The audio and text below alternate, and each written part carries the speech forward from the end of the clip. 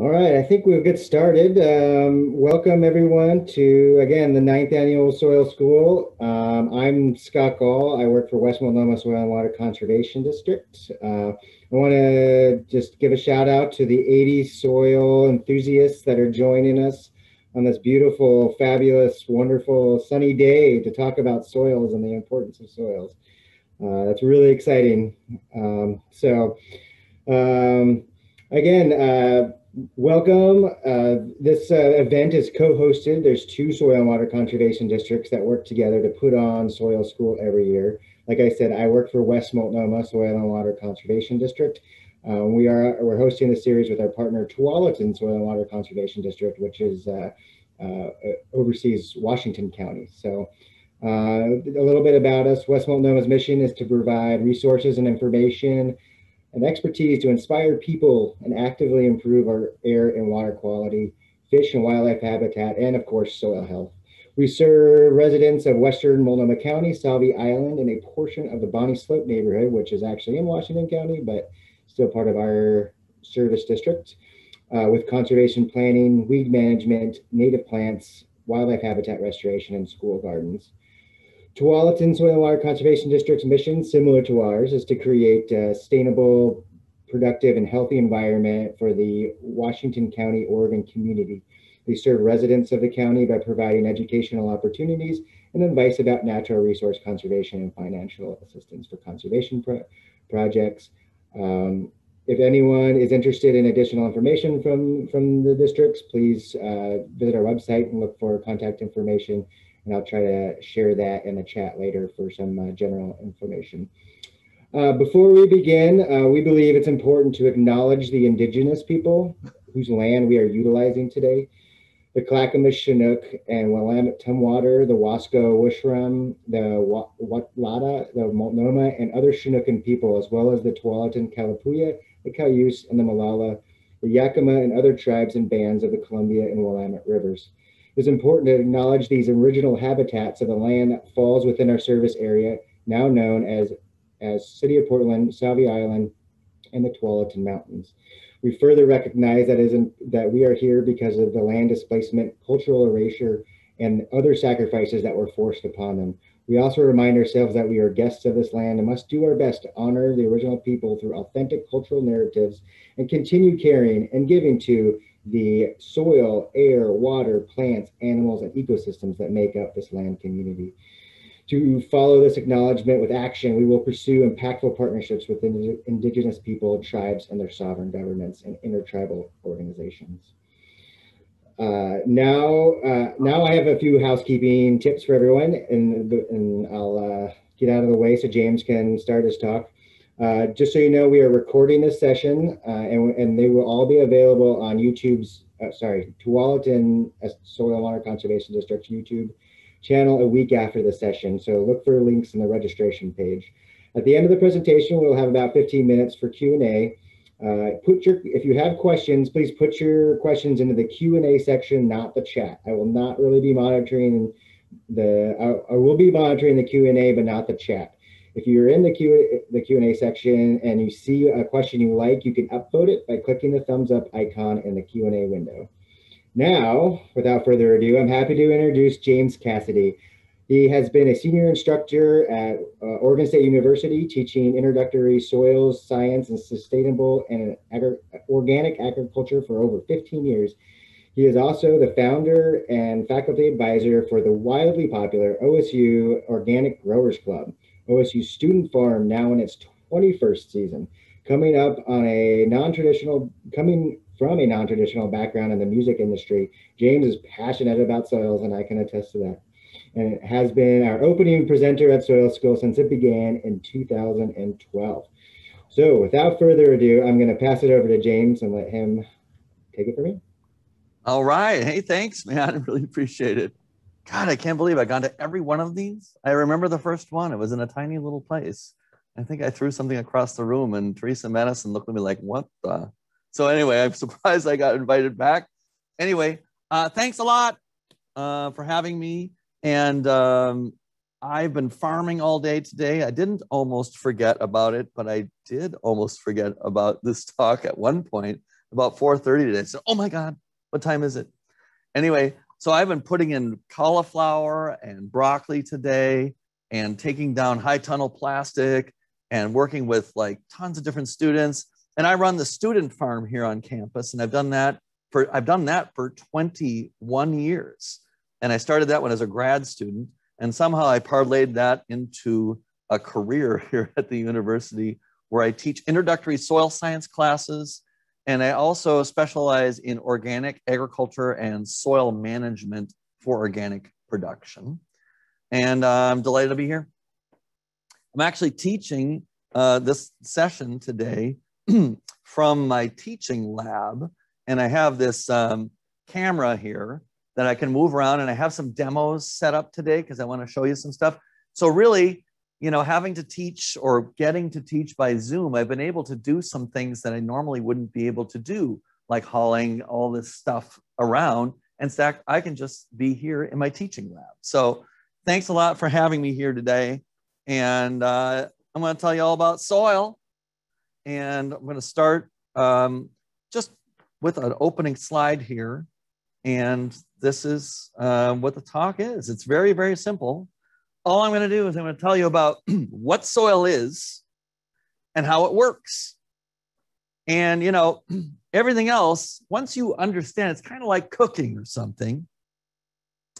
You know, so, you know, how you've like open up the refrigerator and you just kind of take all the stuff out and you kind of know what you're doing. You throw together something that's awesome. Or if you follow a recipe, you go out and you buy all this stuff and you spend all this money, and by the time you get it done, it's not very good. And you know, really the way to cook is just to learn how to cook, right? And then whatever ingredients you have. And that's kind of my goal here tonight is to kind of teach you the basics of soil so that you can sort of figure out the rest of the stuff yourself and understand how it actually works and what it really is. And most people, you know, most people, of course, never think about soil. Um, they, ironically, they go to their graves having never once considered the reality that soil is. And what I want you to understand is what you probably have a pretty good idea. I mean, you guys look at there's like 85 people showing up here on a Tuesday night at 6 p.m. I mean, this is crazy. You guys are amazing. I mean, I can't believe this is like you're my people. You know, this is the people that I want to talk to and I know you're super excited about and interested in soil. You're probably gardeners and you want to know more about soil. And I'm going to go about maybe even like 45 minutes to an hour, and then we'll have a little bit of time for some questions. And uh, so I want to get going. All right. So, what is soil? I mean, what soil is? Soil is is it's all about soil. Number one, and I don't mean just like gardening and trees and, and stuff like that. I mean, all of it is about soil. I mean, everything in this room, every person you've ever seen, everything you've ever eaten, everything you've ever touched, everything you've ever seen on a vacation, every mountain, all of that stuff, everything you've ever seen, it's all from the soil. It all comes from the soil. And maybe you don't realize this. Maybe you never thought about this. But every every atom in your body, every atom in your body was has been through the soil system billions of times already. The fact that you are not soil at this moment is a temporary condition. And it won't be long now, folks. It's almost over. And I don't mean this talk. I mean your time um, at this moment. I mean, here we are together, 100 people together, 97 participants here tonight via this incredible like information revolution opportunity to be together. And here we are in this moment in the history of the cosmos together in this tiny little frame of time in order to talk about the most important thing that there really is in human existence. This is what it's all about. I mean, all of it comes from this. I mean, Every atom in your body was once inside of a rock. I'll say that again. Every atom in your body was once inside of a rock. And rocks dissolve in water. Okay? I mean, most people never think about that, but they do because we don't live long enough to really get what's happening on the planet. And I happen to have some rocks here. Here's a rock. This is a piece of granite. And what a rock is, is cooled magma. And you can see these different colored crystals in it. Those different crystals are different elements. And those elements are in a crystalline form, and they're not available to biological systems when they're in this form. But in here, look at this black crystals. Actually, let me switch cameras here really quick. I'll show you something. This is uh, so a better image here. I'll zoom in on this, right? So here's, here's a rock. And what this is made out of are the elements in the Earth's crust. And there's like 118 elements, depending on how you count. And that's what everything is made out of. And that's what this rock is made out of. And every atom in your body was once inside of a rock. And then rocks dissolve in water, and then they're released in a form that can be taken up by plants. Here's a rock. Look at this rock, a different colored rock, right? Look at this rock, different kinds of rocks. Here's a different kind of rock. Here's some sandstone, right? Here's some really sparkly stone of some sort, right? And each one of these is made up of different crystals and have different elements.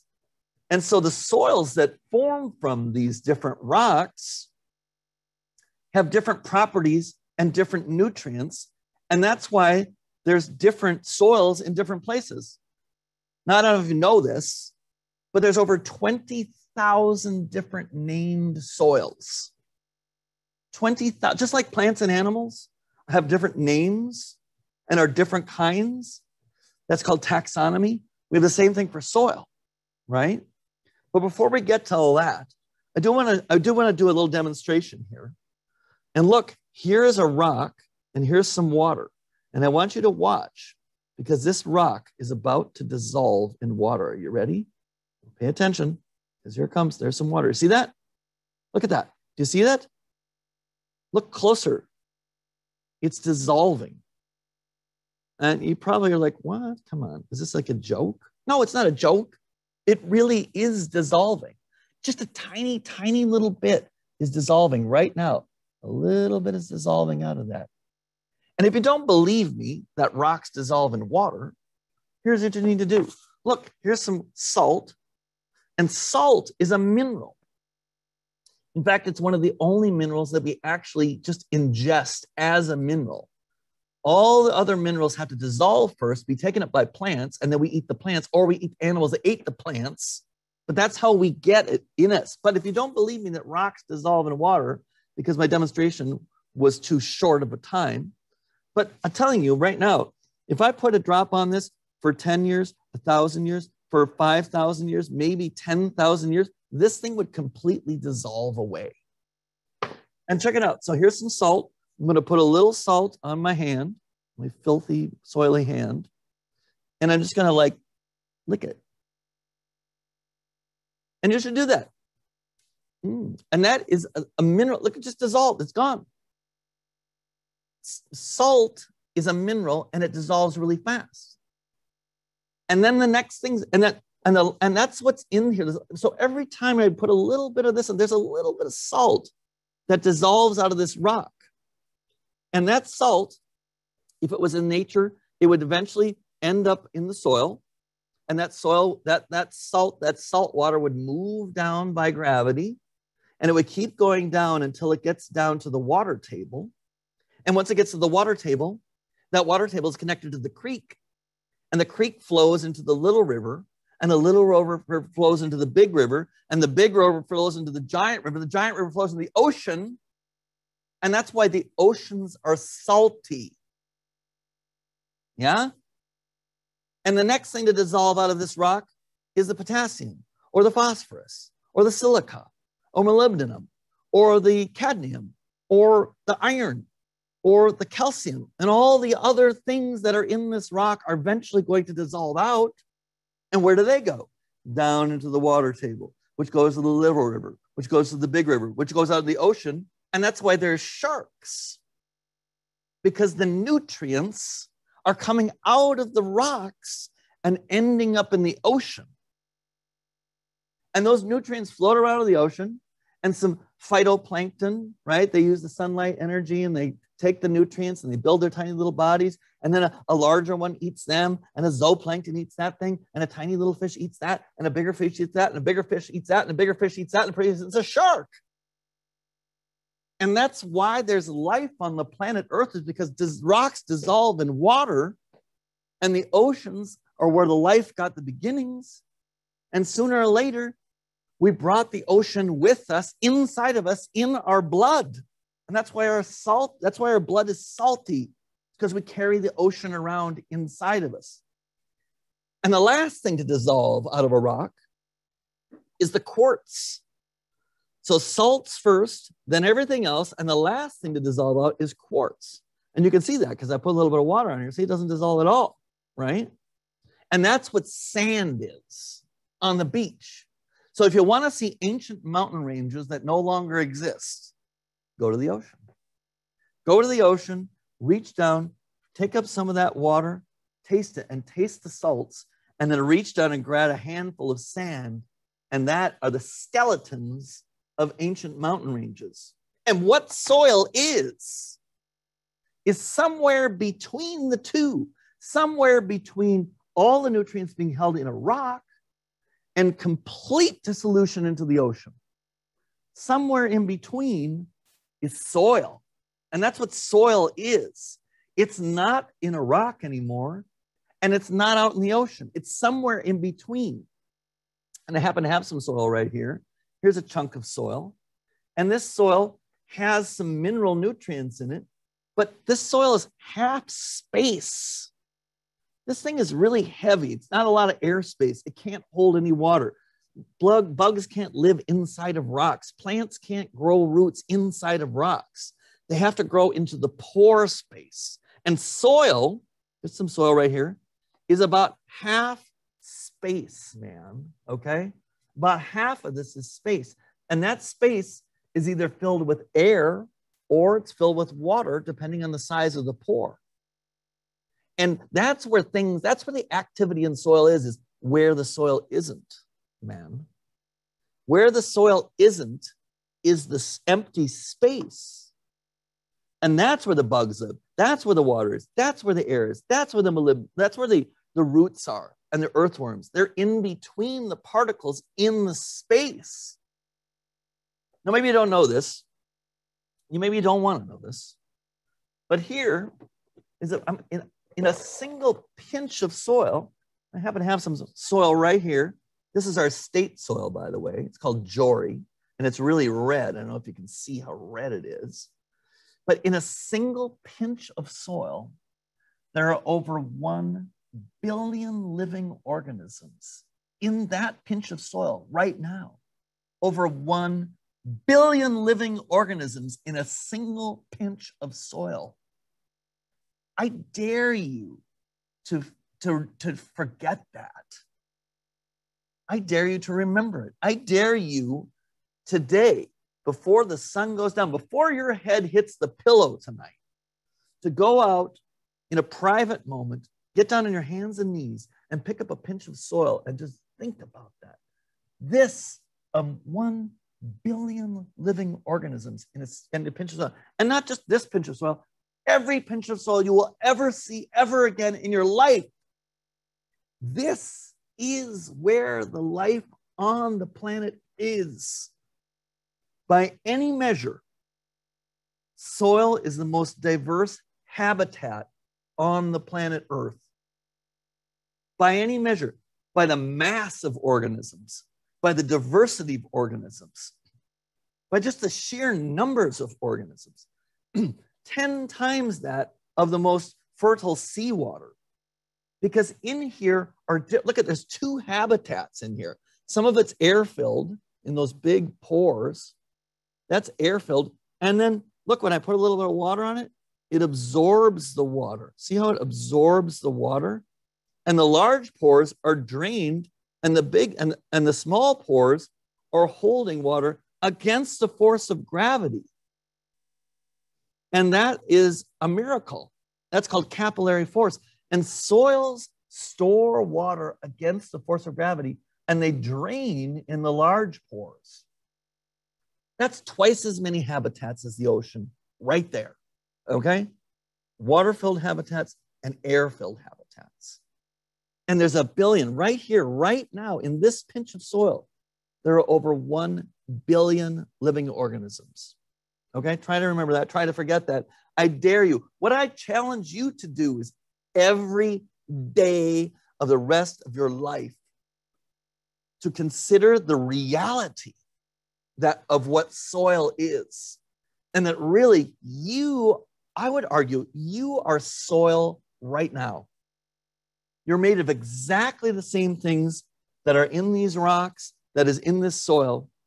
And sooner or later man every atom in your body is going back to the soil and it won't be long now 70 80 90 years what's that in geologic time in a four billion, four and a half billion year old planet? What's 70, 80 years? You're not even here. You're just here. Look at you're mostly soil. And you're of, hey, this is pretty cool. Before you know it, it's over. And so for this moment, here we are together talking about this thing is just so omnipresent that we never even really consider it, right? And there's 20,000 different types of soil. There's probably one named after you for all you know. Check it out. I'm going to show you this. Come over here. Look at these. These are just some of the soils of Oregon, right?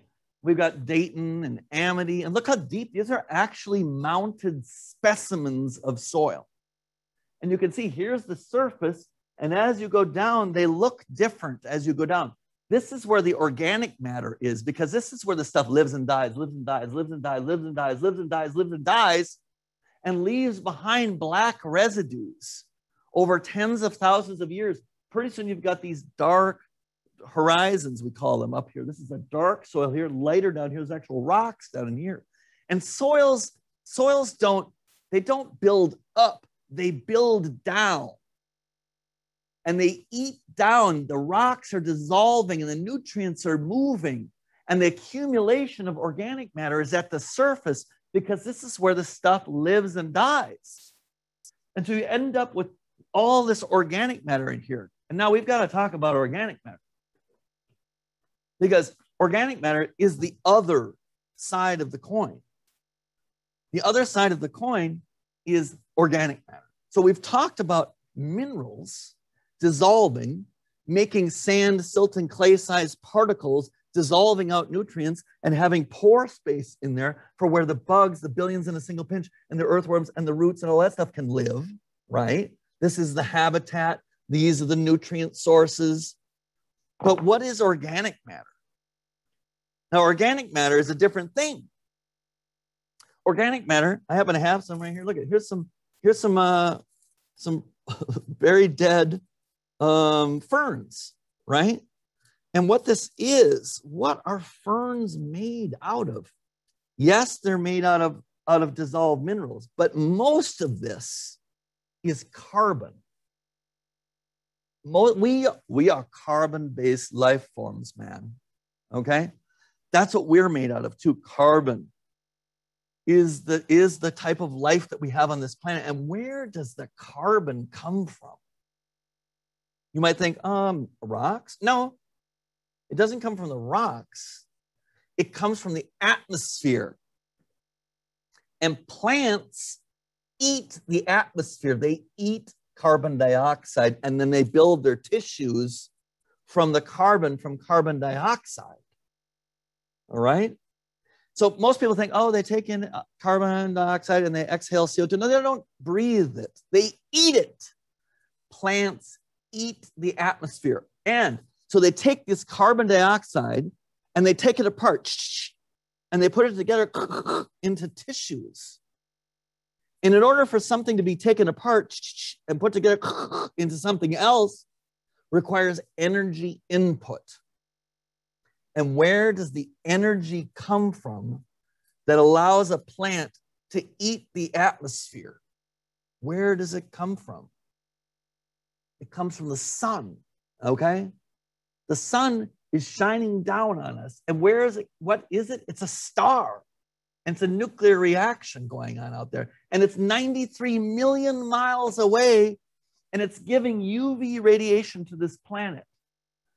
A 93 million miles away, the UV radiation is coming to the planet. And plants have figured out a way to take the UV radiation and use that energy to knock to knock an, an electron into a higher orbital inside of the chloroplast. And when it drops down, it releases a little bit of energy, and that energy is captured in a in a molecule called ATP.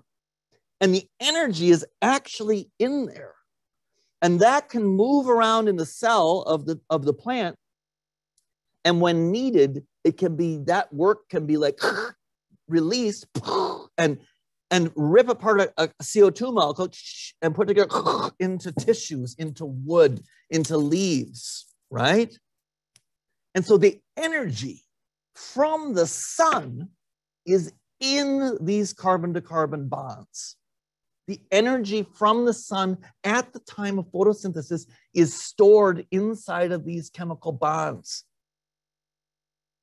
And that's why we eat it. That's why we eat vegetables and plants is to get the energy from the sun. Think about it. Every beat of your heart right now, feel, feel for your pulse. And you can feel it. Every beat of your heart is energy from the sun that was captured by photosynthesis by plants that lived in soil. And every thought you've ever had was is energy that was captured by plants that lived in soil from photosynthesis. And then you ate that, and inside of you, look, there's a hole here and there's a hole back here, right? And there's a tube going through your body. That's the outside world that's inside of you. And inside of the outside world that's inside of you, you got that? Are the same bugs that are in soil. The soil is inside of you. From this end of the tube to that end of the tube is a tube that has bugs in it, the same bacteria and fungi, many of the same ones. And what are you doing? You're adding organic. Hey, you want to know what the answer is? Let's just pull back for a second. You want to know what the answer is? Doesn't matter what the question is. The answer is add organic matter. What's the, what's the answer? Say it out loud. Add organic matter. Turn to the nearest person next to you and say, add organic matter. Add organic. Why? Because what is organic matter? Organic matter is carbon from the atmosphere and energy from the sun. And when you add that to the soil in the form of plant debris, compost, manures, cover crops, all that stuff, what you're doing is you're inject you're, you're you're putting energy and carbon into the soil. And inside of this soil are bacteria. They don't even know there's a sun. They're just waiting for stuff to die. And then they eat that. Just like we eat stuff that dies. We eat that. And we get our carbon and energy from other organisms but these are the primary producers. That's why you're so cool to be growing food in your garden because now you're totally apart. You're, you're completely self contained. You're doing the work of an earthling when you're growing your own food and eating your own food and gathering energy from the sun, carbon from the atmosphere. And I'm going to do a quick demo here just to prove to you. Here's a, a test of mine. And I'm just going to take a piece of paper from this test. And what is paper made out of? It's made out of wood, right? This was once a tree. And this is carbon from the atmosphere, and energy from the sun is contained inside of this. And if I get this hot enough and overcome the activation energy necessary for the oxidation reaction called burning to happen, it produces its own heat from the energy from the sun that's contained in the carbon to carbon bonds that were captured there during photosynthesis when this plant was a tree living in the soil. And so now I happen to have a match right here. And here's a piece of wood. This is a Brazilian match, okay? It's from Brazil. And if I get this match, this piece of wood, 451 degrees, by creating frictional heat because I'm using my muscles, which are energy from the sun, to create that frictional heat, it bursts into flames. And now it's that is the energy of the sun that's in there right now. And I can use that to overcome the activation energy necessary to start this chain reaction. And now I'm I got a I got a trash fire here in the basement of ALS at the Oregon State University. Don't tell anybody that I'm having a little bit of fun here with you.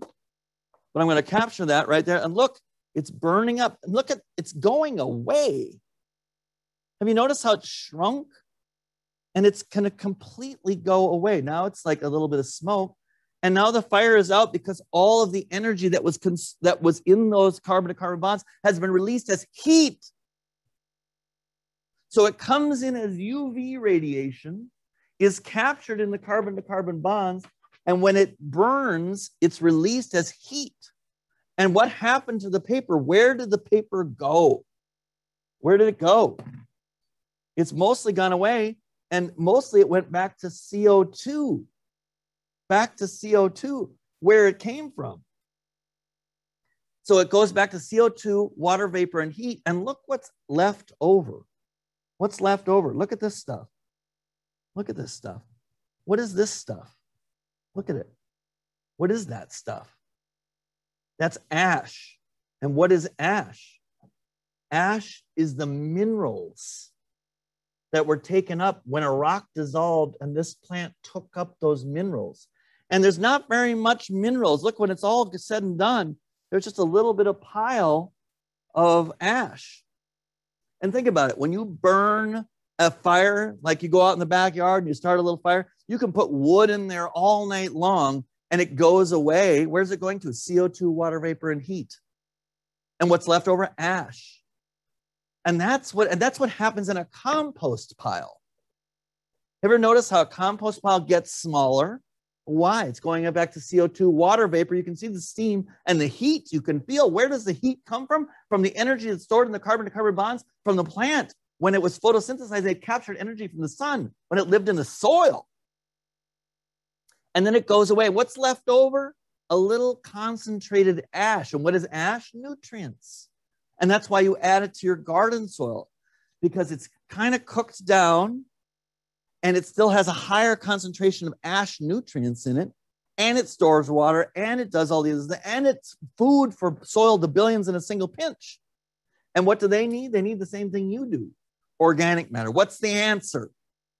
Add organic matter okay? Now you should get a soil test and you can do that. And you know what? When you've got four or 5% organic matter in your soil, and that's from a soil test, not just eyeballing it, but actually send it in 30, 40 bucks, right? And if you have four or 5% organic matter, you did it. If your if your if your organic matter is starting to drop from year to year, you need to add organic matter. The easiest way to add organic matter is to grow it. Grow it as a plant right? And the, the next easiest way is to buy some compost. But when you get to four or 5% organic matter, that's enough. And I'd love to tell you more about that, but I got to get to these slides. My God, we're more than half over. So I'm going to get to this. Here it is. Where is it? So, so oh, it's all about soil, right? I mean, this is what it's all about. And we just don't get it because we're so immersed in it that we never think about it. Check it out. Here's, here's some soil. I don't know if you know this, but there's 12 different soil orders. So I said there's 20,000 different name soils. They all belong to one of the 12 soil orders. And here are two of them, very contrasting ones. Here's one called an aridisol. What do you think that means? Aridisol. It's a dry soil, right? And does do rocks dissolve in air? No, they don't they only they dissolve in water and there's not very much water here in fact it only rains about six inches here look at they're looking at a profile view meaning if you cut a hole and then stood there looked at the wall in profile this is what this soil would look like going from the surface on down and right here is about 12 inches of soil which is about 50% porosity so if it rains six inches here on average, that means because this is occupied 50% by stuff, it's going to go down to about 12 inches, the water is, and then it stops raining. And you know what happens? What's the first thing that dissolves out of a rock? The salt. And what does the salt do? It goes down to about 12 inches and then it stops raining. And then it precipitates out. And that happens over and over and over and over again. And in an arid environment, you end up with a salt horizon. This is a BK horizon. It's called a, it's a, it's a salt calcic horizon. And so all of the other nutrients are much slower to dissolve than salt. And so there's not a lot of nutrients being released in this system because there's not a lot of water. And if you want to live there, you got to look like this. That's it. This is the best you can be. And those things are actually perfectly adapted. Those sage plants or whatever they are are perfectly adapted to living in salty soils without very much water and not a lot of nutrients. And that's what a native plant is. It's a plant that has adapted to the soil conditions. And the soil is formed by the climate, by the plants and animals that live there, by the steepness or flatness of, of the terrain, and what kind of rock is dissolving in the first place. Because this rock produces a different soil than that rock, which produces a different soil than that rock. And that's what this one's doing. Over here on the right hand side are called mollisols. And mollisols are these, this is in feet here. So two feet thick of this very dark organic matter rich soil. And there's a lot of carbon and energy in there. And there's a lot of biological activity in there. And the more biological activity there is, the more processing of carbon, energy, and nutrients there are, the more release of the nutrients there are, the more the plants can grow there. And more plants that grow there mean more plants die there, which leave behind organic matter, which is carbon, energy, and nutrients. And that's what soil building is. And this is called a mollisol. And this is the most important, uh, important agricultural soil that we have on the planet. Is called a mollisol. Mollify. To mollify something is to soften it.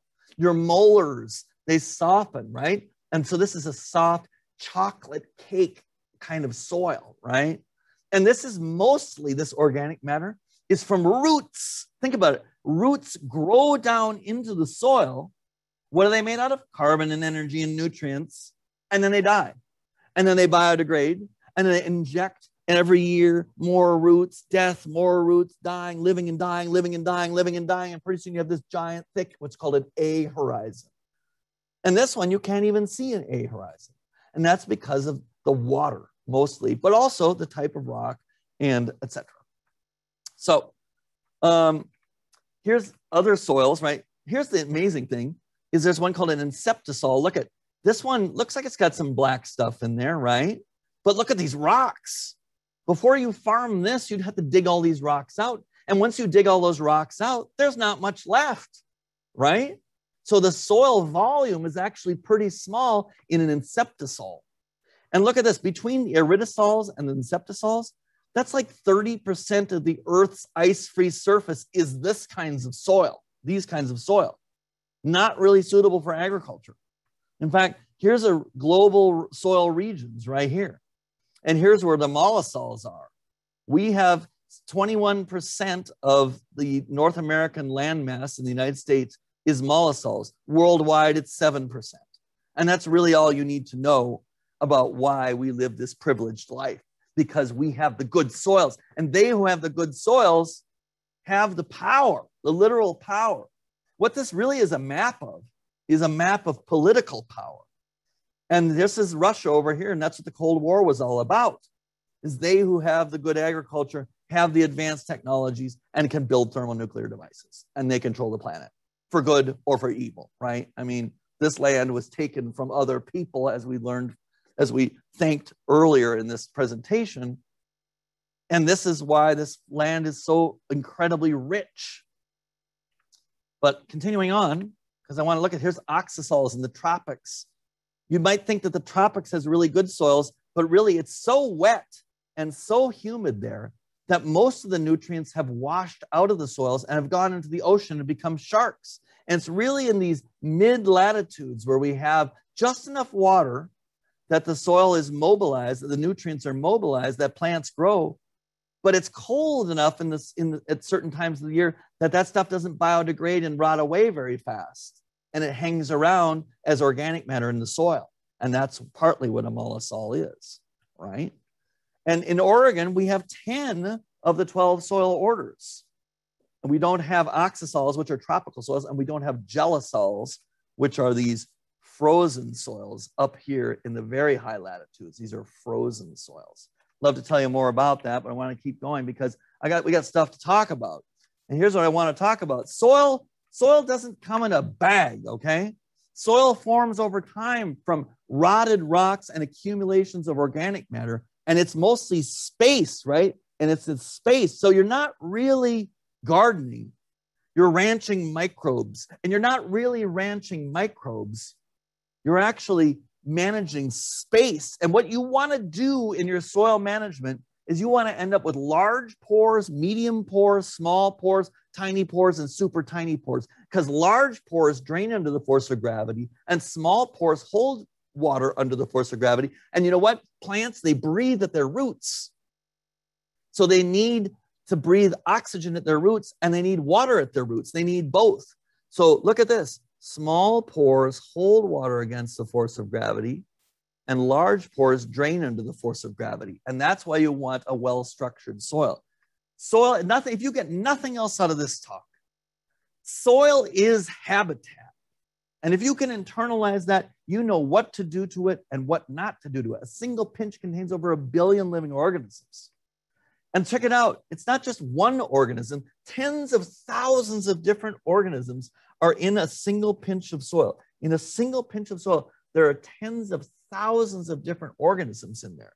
And look at this, just in this little clump of soil, here it is, a half a millimeter by a half a millimeter. Here's pieces of sand here. And look at they're interacting with this water that's being held here in the small pore and they're dissolving into it and releasing nutrients. And then there's a giant sea serpent, and that giant sea serpent is eating these things, which drink the poop of that thing, which eats this thing's pee.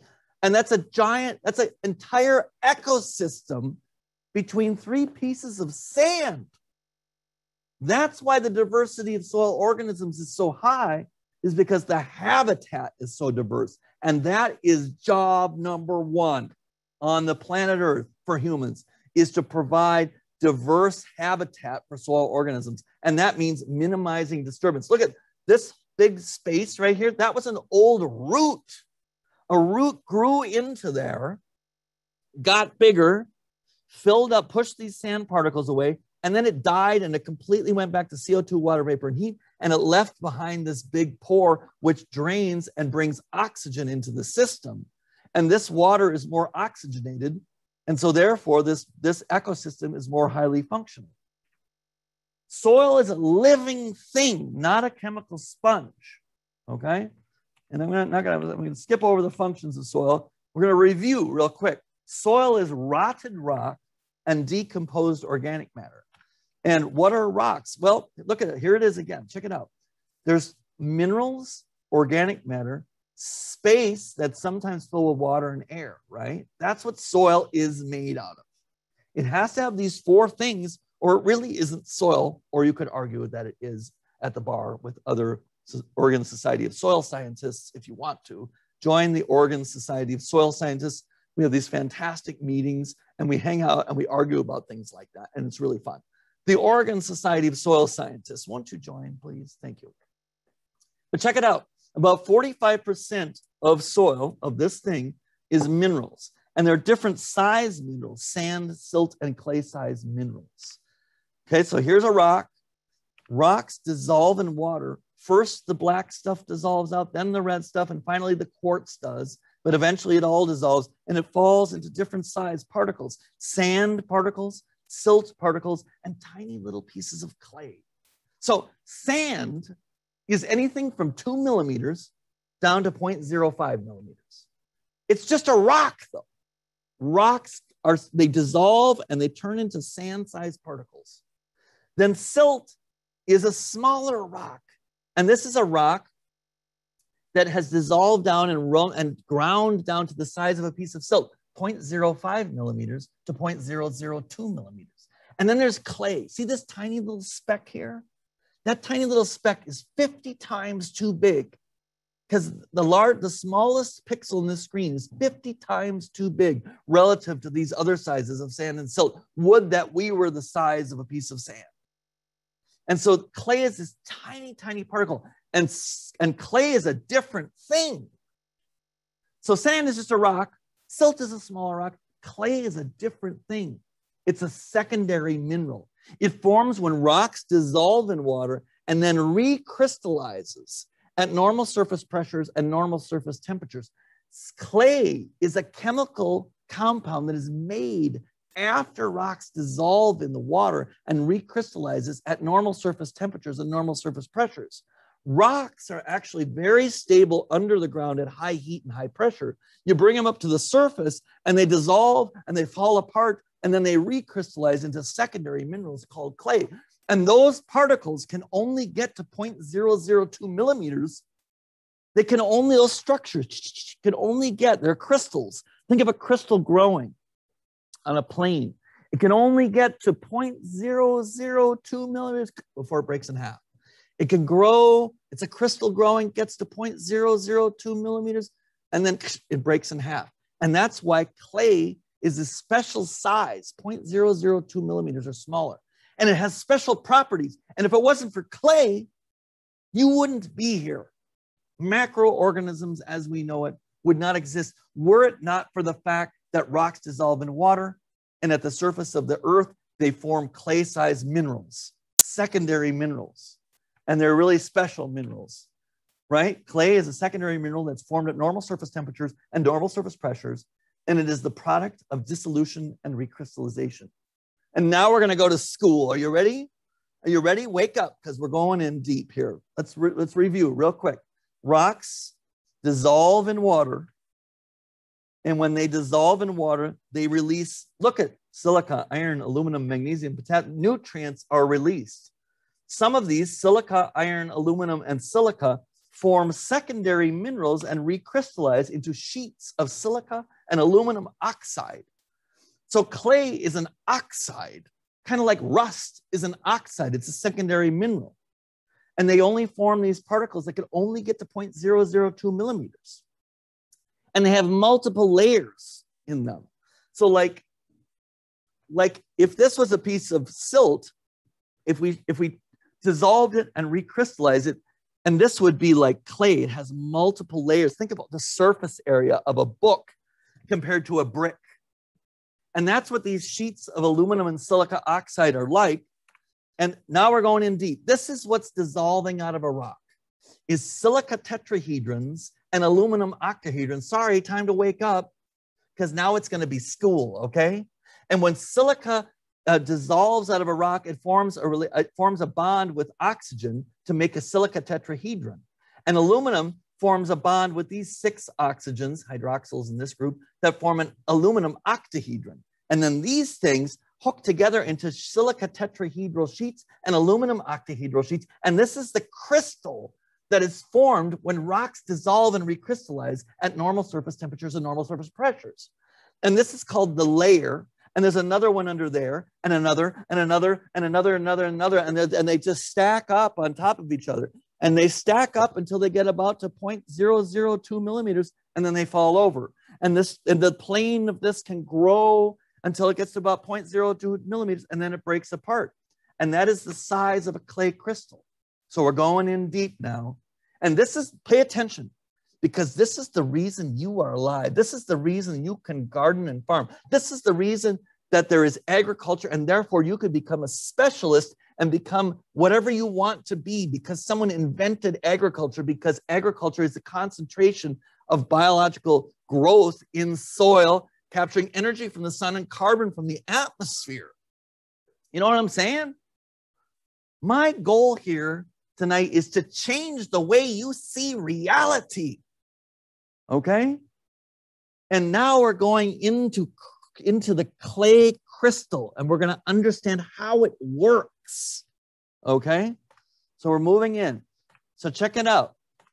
Here, there, as it turns out, there are other things that are dissolving out of the rock other than silica and other than aluminum, things like iron and magnesium. And when that crystal is forming, a substitution of those different elements can occur inside of the crystal and lattice work of clay. Hang on. There's a reason for this, okay? And when that happens, when instead of silica in the tetrahedral sheet, we get a little bit of iron substituted in at the time of recrystallization, we end up with a negative charge on the surfaces. Sand doesn't have a negative charge. Silt does not have a negative charge. Clay has a negative charge due to isomorphic substitution on the secondary mineral called clay. Look, the same thing happens in the octahedral sheet with magnesium. So if you have rocks that have more magnesium in them than iron, you end up with clays that have more isomorphic substitution and therefore more net negative charge. Now think about this. Rocks don't have negative charges on them. Clay does when it has isomorphic substitution on it. And you know what sticks to negatively charged things? Positively charged things. And you want to know what the charge of most mineral nutrients are that you get from fertilizer? most of those are positively charged things. And so the positively charged things stick to the negative exchange complexes on clay. And that's that and, and that prevents those nutrients from washing away into the groundwater, into the river, out into the ocean, and becoming sharks. So this thing called clay stores nutrients on it. And it's only temporarily hydrostatically stuck there. And that is the reason we can grow macroorganisms that plants can grow. That's why humans are here because nutrients are stored in soil. And you can measure the number of charges when you get a soil test. And it's called the cation exchange capacity.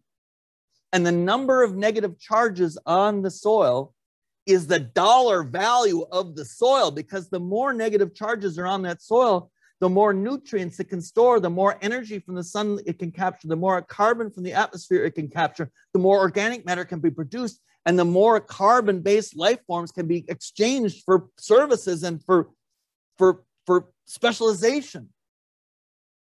Yeah, see what I'm saying? At this scale, that's why it works, is because of isomorphic substitution on the secondary mineral called clay. Look at, check it out. Here's what here's what clay looks like at a hundred thousand times magnification. You can see it's not just a ground down piece of rock. It was built up atom by atom by silica tetrahedron, by aluminum octahedron, and that you can see they can stack up. They can only get to about 0.002 millimeters across, and they can only stack up about 0.002 millimeters before they fall over and break, and they have net negative charges all over them. Right? all over those surfaces. Those, it's got a giant surface area. A, a thimbleful of sand has a surface area of about a sheet of paper. A thimbleful of silt has the, the, the surface area were you to lay all the surfaces out on the particles of about a, a square yard, like a large um, sheet of paper. All right, I got five minutes. I got it. And and and a, a thimbleful of, of clay has a football fields worth of surface area that has net negative charges all over due to isomorphic substitution. Look at this clay, net negative charges on it due to isomorphic substitution, second called clay. Look at look at that clay. It looks like fiber and has net negative charges all over those surfaces due to the isomorphic substitution on the secondary mineral called clay. Look at this clay, net negative charges. Look at these clays, net negative charges. Look at this clay, net negative charges due to isomorphic substitution. The secondary mineral called clay is the reason for the season. It's the reason you're alive, right? So let's all say it together. Net negative charge due to isomorphic substitution on the secondary mineral called clay is how soil stores nutrients. And because it can store nutrients, it can accumulate enough nutrients to make you. Otherwise, it'd all be in the ocean and just be sharks. Right? Look at there's clay. Look at clay. Look at calcium stuck there. Look at potassium is stuck there. Look, magnesium. These are nutrients that are stuck there from fertilizers and you put this on in the ratios that you want to grow the crops that you want. And that's how soil works. Turns out there's this other thing called organic matter, which we've talked about already. And it's a very small part of what soil is. And, and what organic matter is, it looks like this. And it has net negative charges all over it. So organic matter itself is a small particle with charges all over it that can store positively charged nutrients. So the more organic matter is in the soil, the more nutrients can be stored, the more plants that can grow there, the more carbon from the atmosphere, the more energy from the sun can be accumulated, and the more organic matter goes into the soil. And that's what soil building is. But it starts with clay and then more and more. And that's what an ahar is. That's what a mollisol is. That's what a garden soil is. It can store nutrients, right? So I want to do a quick demo um, to, to demonstrate that to you. And I've actually not done this um, for, uh, for a talk yet. So I'm very kind of excited about it.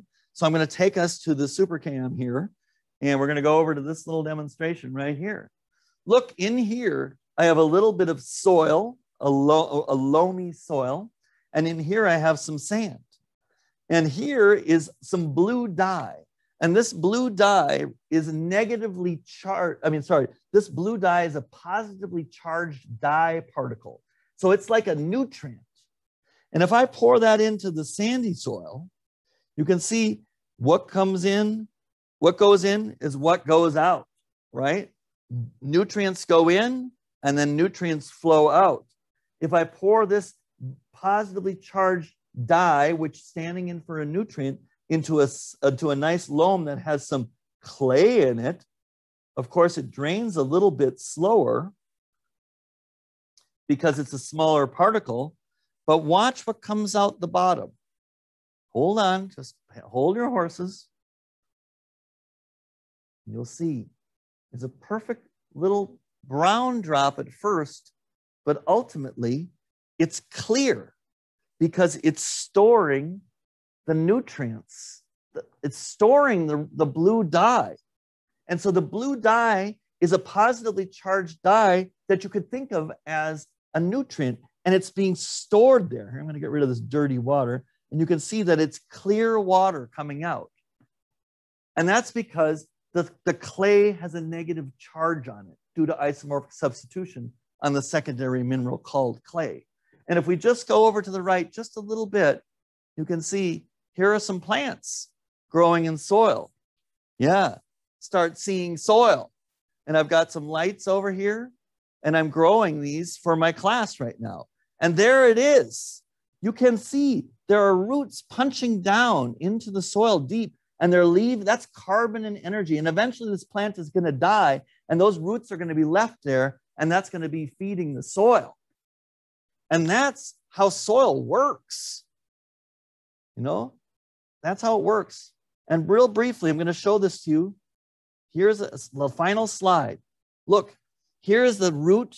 Here is the tiniest root hair you never saw. Here is the final, the tiny root hair right here. What? So here's look. Here's soil with a negative charge on it. Look what's stuck to it. Nutrients. Plants breathe at their roots. They exhale CO2, which dissolves in water and forms hydrogen ion, which is carbonic uh, carbonic acid. And this these hydrogen ions are more strongly absorbed to the negative exchange complex than are the nutrients. And when there's enough CO2 in the water being exhaled from the root, it actually removes the nutrient from the, from the soil, which then flows into the plant. And that's how the calcium got into the plant. And that's how the calcium got into your body to become the bones of your body because you ate that calcium in that plant that was stored on that negative exchange complex. And sooner or later, folks, every calcium ion in your body, the skeleton that's inside of you, sooner or later, is going to be back on the negative exchange complex of clay and organic matter. And that is a fact. And it won't be long now, folks. And this talk actually is over now. And I'd be happy to take your talk, take uh, some of your questions. Well, I misspoke a little bit. Technically, we had till seven thirty according to our registration. What? But, but uh, okay, my bad. Well, I got um, stuff to um, show. What's that? I do have some cool things to show now. I mean, maybe you could show those off, and then we can launch and have a little bit of extra time for questions. Oh yeah, let me let me show you something. This is the perfect time because I kind of gave you the whole like, here's what soil is, here's how it works. Get used to it, okay? So I want to show you some really cool tools that you can use. Yes, this is for you, for you to know what kind of soil you have. So, Scott, I'm going to ask you to give me some information in a second here because um, we're going to use you. And I'm going to show you this tool. Um, it's called, check this out. This is the California Soil Resource Lab. And you just Google that, okay? Write this down, everybody. The California Soil Resource Laboratory. And you go to soil, this is home, this is what it looks like on the homepage. And you go to Soil Web Apps. And there's an app for your phone, number one, that's free that you can download right now. It's called Soil Web. And you go to the App Store and you type in soil web and you hit download. And if you can remember your you know your your apple id which i can't um, you can download that app. And on your phone wherever you're standing in the united states you can push a button and you can find out what the soil is underneath of your feet. And i'm doing that right now. And it's going to just take a few seconds relax because you know it's actually pulling the data from um, from the, the bank. And there it is. Check it out. There's under this building where I'm standing right now is Woodburn soil and Amity. And you can see it's got an A horizon, a thick, and look at the difference in color as you go down, right? And that's what this app does too. It's called Soil Web Earth, and you click on it and it uploads. See this little program down here called Soil Web 13KMZ? It, it uploads that, and then you click on that, and it it puts it into your um, into Google Earth. Check it out. So here it is. So now you can see it right over here. It says soil soil web right here, right? So now, just like Google Earth for other purposes, I can put in an address, and I'm going to put in Scott's address so we can all send him a pizza, but we're all going to pay for it, right? So what's your address, Scott? Or you could do the office if you want to. I don't know, but you got to take your mute off. You got to take it. Look at that, man. Okay, let's find out. Let's see. I already have the app, so I could just show it to you. There it is. Well, I'll, I'll put in my address. What the hell? Actually, I'll um, put in I'll, I'll put in Corvallis. There you go. Corvallis, Oregon. That way you can send a pizza to all of us down here. So look, I'm going to go there. Look, this is worth the price of admission right here, especially considering there was no price of admission tonight. There's Corvallis. And look, here's the student farm is over here, right? Over there's the student farm. And watch what happens any second now. We're going to get the soils are going to show up here. There they are. Look at that. Look at that. You see these lines? This is a soil type. It's called, it, that's the number 18. Here's 21. Each one of these is a different soil type. And you can just find out, you can put in your address and find out. And here's where the student farm is. Let's go down to it. There it is, that mess right there that those darn kids keep meddling with and, and causing all sorts of weed problems and teaching themselves about organic agriculture, which they've done for 21 years. Thank you very much. All volunteer, including me, 21 years. Okay. And, and if I click on that, look, it's a Chehalis silty clay loam. That's one of 20,000 different soils. And if I click on the anything that's blue, it takes me to a description of Chehalis and here it is. Look, it's got a thick A horizon because it look, it ends in all. It's a mollisol. In fact, it's a fine silty mixed mesic cumulic ultic haploxeroll, which is also known as Chehalis. And if we go down, we look at this, right? It's got deeper horizons. Here's the exciting thing about this app. Check it out. These are the native or naturalized plants that are associated with this soil. And why are these why are these plants in that soil? Because they're adapted to the water holding capacity, the nutrient supply capacity, the temperature, right? The flooding frequency, all that stuff. And look what's there vine maple, wild ginger, cascade Oregon grape, our state, that's our state plant, right? Or is there a state fruit? I think it's our state plant. Anyway, and so those are the native plants that are associated with this native soil. And look at here's the forest productivity. And any one of these, we could click on these and learn about these plants as well. But here's the amazing thing. Look at these. So here is the percent organic matter. And it, it's 8% at the surface. And then as you go down in the soil, at deeper into the soil, you can see that drops off to 3% at about 38 centimeters. And why is there more organic matter in the top 38 centimeters? Because that's where the things live and die, live and die, live and die, live and die, live and die, live and die, right? And that's what an A horizon is. And look here, here's the percent clay. It's 35% clay. down to about 38 centimeters, and then that drops off to 30%. And why is that? Because this is probably flooded. This soil came in on a flood, and about 38 centimeters up was the most recent flood, and that was probably like 3,000 years ago or something, for all we know. Look at the percent sand, really low, 6% sand. Here's the rate at which water flows into the soil 32 millimeters per hour.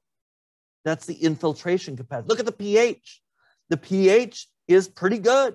That's why the student farm is there, because it has a really nice amount of clay it has good infiltration.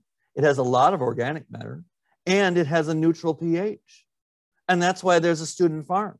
It's not because of me, man. It's because of the soil and me just showing up every Thursday night from 4:30 to dark for the last 21 years. For me just showing up every Sunday morning from 9 to noon for the la- 9 to noon for the last uh, 20 years. But it's because of the soil. And look at these. These are salts, different salts. And why is there zero salt in this soil? Where is the salt? Where did it go? It washed away and went into the ground table, into the groundwater, which went into the Willamette River, which went into the Columbia River, which went into the ocean, which is why the oceans are salty, because it rains enough here that there's no salt accumulations. And here's the CEC, the cation exchange capacity, the number of negative charges on the soil. And if you, and you might be wondering, 30, 30 what? And what that is, is 30 times 6 trillion trillion negative charges per kilometer or per, per um, kilogram of dry soil. And a kilogram of dry soil is about the size of a softball. And in this, in a kilogram of, of, of Chehalis soil at the surface, there are 30 times 6 trillion trillion negative charges on it. That means it can store 60, I'm sorry, 30 times 6 trillion trillion positively charged nutrients, which is a high number, which is why this is valuable class one farmland. And if you wanted to buy it, doesn't matter what kind of a house is on it. It doesn't matter what the view is. This is prime farmland and it costs a lot of money because you know why? because it can capture more energy from the sun, more carbon from the atmosphere, and make more organic matter, which is the value, right? That's what food is, and everything else flows from that. And this is the linear extensibility, which tells us about the shrink swell capacity of the kind of clay. And the better clays have a higher shrinking and swelling capacity because they have more isomorphic substitution. Of course, there's different kinds of clays, and I'm not going to tell you all of that, everything. I can't tell you everything, I, I have said about 100 million, 100,000 words in the past 60 minutes here, probably. Let's go back. Let's, why don't we go to Bend, Oregon, really quick, and we'll see what the soils are like on the other side of the mountain. So we fly over here. We've got our California Soil Resource Laboratory um, uh, soil web app in here. Here's a look at Bend, just goes on and on and on here.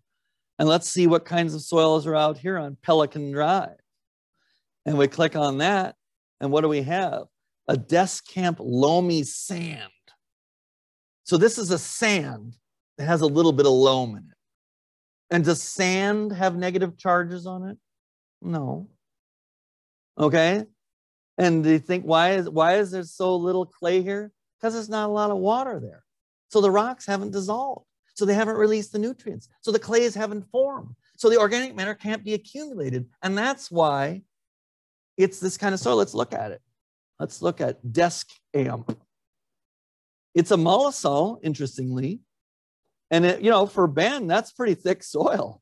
Okay. And it's a pretty decent soil. Look, it has a pH of seven. But look, it's 81% sand. Look, it's 2% clay. Do you think the CEC is high? Look at 1.5% organic matter and 2% clay. Do you think the CEC is pretty low? Yeah, it is. It's 7.5 times 6 trillion trillion negative charges per kilogram of dry soil. That's like five times less, right? Or so, six times less than the, where the student farm is it'd be a lot harder to have a student farm here, let alone out here. Let's see what it's out here by Walker Road. Now we're talking about juniper. The name of this soil is juniper lobs, lava blisters.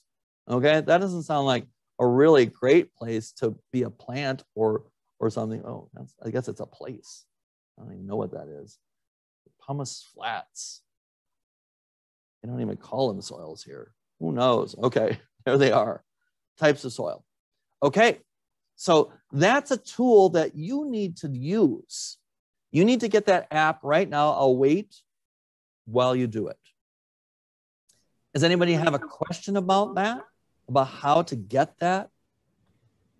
We have several other questions. Let's do uh, it. I got slides you know, forever. One thing we could do is uh, maybe on our uh, website for the for this uh, whole program that we can share that link for folks. Oh, uh, why don't I put it in the chat? And that would be right good now because I'm a thoroughly modern man. For those, so I'm ancient. For those who are super curious about the soil at my house, I have a Clackamas soil. I'm in Clackamas, Clackamas? County. You'd probably be shocked by that, which is a typic Argiaquoll. Oh, so it's a mollisol. It's a mollisol. Uh, sorry, my webcam's not good enough to get a good. Uh, right. Good, uh, well, actually, here's here's an exciting thing we can do, Scott. Just for a moment before we get to those questions, is I can we can look up the name of that soil just by going to a website, right? I mean, all we got to do is just Google it, right? We'll just Google yeah. that shit. So, uh, what is it? Clackamas, C L A C K. C L A C. A. C L A C. Sorry. C A L. Cla. Clack. C L A C A M A S. Clackamas soil. Really, I can spell when I'm not on. the district. Okay. Uh, there's the soil water conservation district. but I'm going to say soil series. All right. Get rid of all that. Let's see. And there it is, the official series description for Clackamas series. And let's look at that. Here it is. Look, it's a um, on Willamette. It's a fine, loamy, mixed, superactive mesotypic RG aqua. RG means clay. So it's a mollisol that has some clay and it's aqua, meaning wet. It's a typical one. Has a mesic soil temperature regime. It has superactive clay, so it probably has a pretty high CEC. It's from mixed sources and it's a fine loam. So it's a silty soil that probably has a pretty good amount of clay in it. But it's considered a Clackamas gravelly loam under grass. So it's got some gravel in it. And I can attest to that. There's a right. lot of rocks and gravel. so gravelly loam at the surface, gravelly loam as you go down, gravelly clay loam as you go further down, extremely gravelly clay loam as you get down to 61 centimeters. So it's not the greatest. Uh, having dug a few uh, fence posts, I can tell you it's extremely yeah. gravelly as you go down. So I'm telling you, folks, you if you're ever going to buy a piece of property I, I, by the way i put that soil uh, the california soil resource lab in the chat uh, for all panelists and attendees. So copy that and paste it. But i'm telling you if you're ever going to buy land again first thing you do is get out your app and like say well what's the soil like here? And if it's really nice soil don't say anything and if it's really crappy soil, you can start to bargain. But these days, people don't care about soil. You think people care about soil? You think anybody's thinking about soil except 80 people right now in Clackamas County? Probably not. Ironically, I mean, talk about, come on, it's all about soil, and yet nobody's talking about it. And that is what we need in our leadership. We need our leadership to understand what soil is and how it works, and it is the source of all political power. Our politicians don't even know where the power comes from. It comes from the sun, man. We got any questions? We got some questions. I will say, just uh, full disclosure, I, I was a graduate student in James's class many years ago. And when I was just looking, looking for a house, I had my soils app out. no way touring homes just to double check what was going on there. But we obviously didn't pick the greatest soil to grow our gardens on. But well, you can't afford it. Uh, exactly. Yep. Uh, but actually, the first question. Do you want me to just read you some questions and you yeah, just yeah. into it? So the first question we got actually kind of is a good question, a segue from what I was just talking about, and they're asking what the perfect uh, raised bed soil for growing vegetables would be. Well, you know, first of all, determine whether you actually need a raised bed Some people will not garden unless they have a raised bed because they think their soil is bad. Most people think their soil is bad. First thing I would do is find out if your soil is good. If you live in the Willamette Valley, man, you probably have really good soil and better soil than you could ever buy at the garden center. Okay. But maybe you have thin soil. Maybe you have gravelly, extremely gravelly, cobbly loam. So what you want to get is the best soil that money can buy. Okay. That's what you want. And you don't want to cheap out on the soil because it may seem like a lot of money, um, but I'm telling you, you're going to spend the rest of your life trying to make it produce. So do yourself a favor, get the good stuff. It should be a, a nice sandy loam or a silt, silty loam. And they sell this stuff manufactured from, you know, they blend it and stuff. But you know what? Get equal parts of soil and compost and buy the best compost money can buy. These days up in Portland, I just heard this today, you can buy compost that's $80 a yard. But for a little garden, a yard is a lot. And who cares? You're all rich. I mean, come on. Just buy the good stuff. You know, somebody's making the good stuff. Reward them with your dollars, okay? And you can't really get it. There isn't a, a really isn't an international market for it. So most compost and soils are local anyway. So find out these guys, Scott, and those they they should know who sells the good stuff. Who sells the good stuff? Does anyone? You think? I, I can't, as a government employee, I can't. Uh, okay, okay. But if you look for uh, farm stores, there are uh, urban farm stores in Portland, right? Uh, as, well as, as well as other places that source great soils up here. Uh, we just got to um, two yards of it to fill our garden beds because we have such gravelly soil. Uh, we decided we did need garden beds. And I, I will say one other uh, component that we talk to folks about garden beds is if you have an older home, especially built before the early 70s. Yep. Chance of lead uh, near the home. So the closer your garden bed is to your home, the more you might want to consider, especially if you're going to grow root vegetables uh, or anything that grows actually in the soil, you may want to consider raised beds in those situations. But um, the next the next question, and this is a bit of a longer one, you might want to follow along um, if you have the option, James, but it actually kind of gets a little bit out of all this. So this person uh, applied a bunch of stuff to their soil and had some issues with it. So I'll just read it to you and you can kind of give us All your. Right. So last winter, they applied uh, approximately two inches of stuff, quote unquote, from my chicken coop to my raised beds. Okay, sounds good. About, the, well, the stuff was about 90% pine shavings. Mm, not good. Four month old chicken poop. I added one application of fish emulsion in case the poop hadn't completely uh, composted. The mixture was applied to a lovely cover crop of red clover. Skip forward to May, July. Uh, I planted tomatoes, basil, thyme, etc. Nothing grew, or bore fruit, or even survived. Since then, I've added five, five, five, five dung, uh, uh, and dug everything in and allowed the whole mess to quote rest. I planted another cover crop, which germinated, but it failed to grow. What, what happened? Uh, was it the pine shavings? Was it uh... probably the pines? I'll, I'll, tell you one thing: when you're adding stuff to the soil, and it, it is worse, adding more stuff to the soil might be not the good thing to do. So you might want to stop adding stuff to the soil and let it chill out. What I would do, I mean, what's happening is the pine shavings. Yes, they have antimicrobial compounds. That's what we build with pine. Um, they also take a long time. They take a lot of they suck up a lot of nutrients and they create acidity. And you need to get a soil test and find out what the what the acidity of that soil is, because I'll bet you that it's like 4.8 or something. And nothing can grow in that. Okay. I mean, there's plants that can grow in that, but they're not tomatoes. Okay. So what you want to do is find out what the soil pH is and then ask your soil water conservation district how much lime you need to add to neutralize that acid. And I would, you know, get a, I would, you just put that one little bit of fish emulsion there, put a lot more fish emulsion on there and get that, that, those pine shavings cooking. And that's what I would do.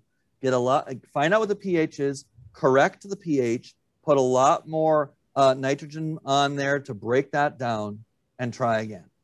But maybe stop adding stuff without knowing more about it. um, you know, we're, we're just kind of guessing. And really, somebody can tell you what's going on with that soil if you just take a soil test. And the way to take a soil test is to dig away some of the stuff and go down about that deep and get up about six inch sample of soil from various locations, mix it up, send in a handful to ANL Labs or somebody like that, and ask them to do a micro and macronutrient analysis with pH and and you're going to see and I'll bet you I'll bet you dimes to donuts that you have a very low pH. And that's a common problem. Even in this in this climate generally, soils are kind of acidic because it's pretty wet around here. So you should all get a soil test and find out what the soil pH is. It's 35 bucks or something. You know, spend the money on the soil and on the compost and on getting a soil test and then getting a little advice from the West Multnomah Soil Water Conservation District and put a little fertilizer on there if you need it, but maybe you don't. Otherwise, you're just guessing and that and that that, that it just isn't isn't going to yield anything. So. And as a follow up, I'll say that someone else asked about uh, where to get your soils tested. I shared the OSU extension link that has all the analytical labs in Oregon, which includes the uh, ANL lab that um, uh, James and, just. And I'll tell you, whatever wherever you live in the in the world, if you're getting a soil test, make sure you get it done at a local soil test laboratory. You know, Oregon, if you're in Oregon, you could probably get it done anywhere, but you've got to tell them where you live because different climates and different soils have different ways of reporting the data, different tests they do to give you the data. They make different assumptions about the rate at which nutrients are being released from the soil in Eastern Oregon than they do in Western Oregon. So it's kind of, it sounds like it's subjective, but it's science, but it's very localized science. So when you send in a soil test, you make sure you want to don't send it to like Georgia or something because they have completely different models about how they report the data. And some of the labs, and I know there's many of them, and I am I a government employee? I guess I am, but ANL labs, they will give you a, uh, a histogram, kind of a readout of high, medium, and low of all the nutrients. And they'll also, for a few, like 10, 15 more bucks, they'll, they'll give you a recommendation and that's probably worth the 10 15 dollars. I think as a university employee i think you're allowed to give more recommendations than we are so well i'm completely uh, under the radar and nobody pays attention to what i'm doing anyway here, here's a here's the next question. We'll see if we can get through a few more of these before our time's up but uh, can you grow veggies and plants in just organic matter? Uh, compost without clay and loam? Is that a bad idea? Where the it is a bad idea. Um, and, and and the reason that is is because uh, the, the mineral nutrients, you know, they're important. And yeah, they're present in organic matter, but, and stability. And when a root goes down into some organic matter, if it gets to be a big plant, it's just going to fall over in the wind. Where if it's down into the into the into the minerals, and that's what they want, and that's where the water is, and that's where the nutrients are, and there's a different temperature. It's cooler down there. And the roots, you know, are adapted to being in mineral soils, unless they're plants that are adapted to living in all organic matter. You know, that there are plants like that, but they're not tomatoes, right? Now, eh, you know, so trust that you have pretty good soil. Get a soil test, find out, get the app, find out what your soil is, and see what the CEC is, right? So don't don't be tempted with the it's all it's all about organic matter it's all about everything. It's all about soil, actually. Okay. And soil, to be soil, it has to have minerals, organic matter, air, and water. Right. And if you don't have the minerals, is it soil? I don't think so. It's a soil like substance. Okay.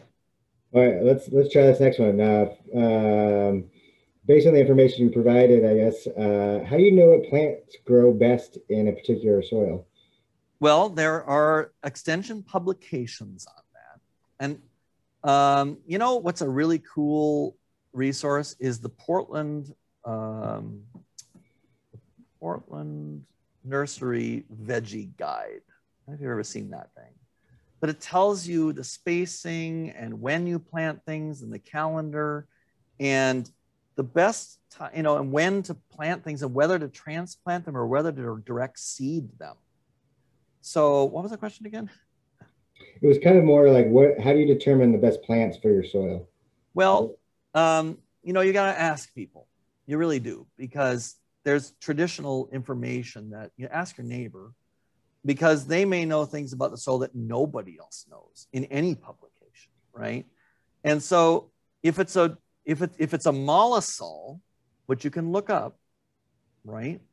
Then it can probably grow almost anything as long as you get the pH right. So check the pH.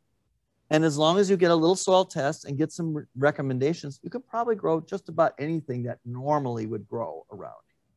So, not a great answer, but kind of a, a complicated question, Yeah, you can grow a lot in, in Oregon. So, yeah, there's a lot of factors involved, I would say.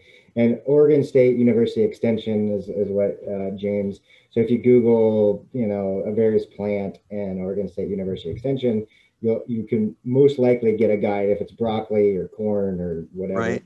The um, the center for the Center for Small Farms here at Oregon State University, super cool. If you actually are serious about trying to grow something a little more than just a small patch, contact them. They have workshops. They have all sorts of materials. Uh, the Center for Small Farms at Oregon State University, and they can put you in touch with all of the, the resources.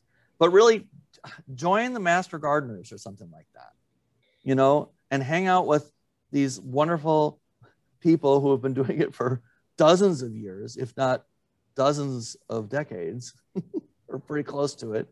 And they know, and they'll have sales, and they'll give you their plants, and they'll tell you everything about it.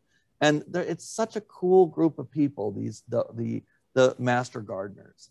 And it, you know, it used to be mostly retired folks, but that's not really the case anymore. It's a lot of young people involved because everybody, not everybody, but more people than ever are starting to get it that we have to like step up in and come in off the ledge a little bit and simplify a little bit and really focus on what matters and where your place is in it and it's in the soil and you belong you belong to the soil. You are of this earth. And once you internalize that, and once you start to grow your own feed, food, you realize that all the stuff that you were hoping to get and stuff really isn't as important as just simply belonging, right? And the, the struggle for status kind of just doesn't really matter once you realize that it's almost like we live in a giant solar system you know what I mean?